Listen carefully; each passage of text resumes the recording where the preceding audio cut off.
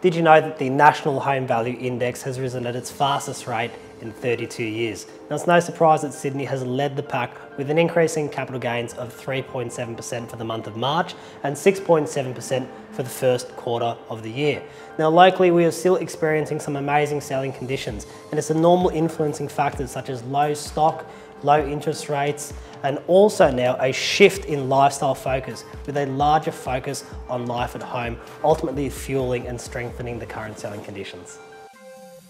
A great example of how the market has strengthened is the sale that I just had at number 24 Dufour Street in North Turramurra. The property was purchased a little over 12 months ago for 2325 and I've just resold the same home for 2.9 million. It's a whopping increase of 24.7% in around about 12 months. Now in terms of the auction clearance rate, we're consistently seeing it sitting around the 90% mark, which is pretty crazy to think that this time last year, we were sitting around the 40% mark. Quite a big change.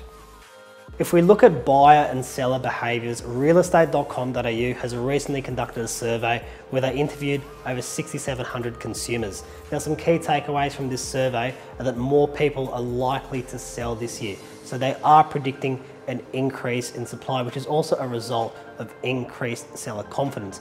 But they're also predicting that this increase in supply will be insufficient relative to the demand.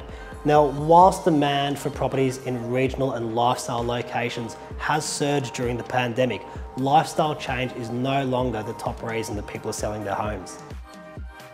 This top spot now belongs to market influences. The market conditions were cited as the number one reason that people would decide to sell their home over the next year, cited by 43% of respondents. So this also helps answer the age-old question of whether to sell or buy first. 50% of people said that they plan on selling before buying their next home, whilst 31% of people said that they plan on buying before selling, compared to 21% in 2019. There's another 18% who don't intend on buying another property.